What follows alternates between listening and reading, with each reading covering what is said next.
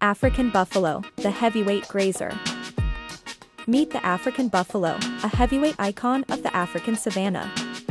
This massive grazer is no ordinary bovine.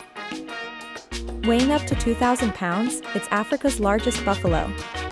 Their signature horns, a symbol of strength and dominance.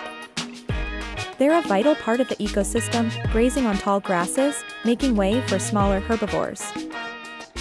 Despite their size, they're preyed upon by lions, crocodiles, and humans.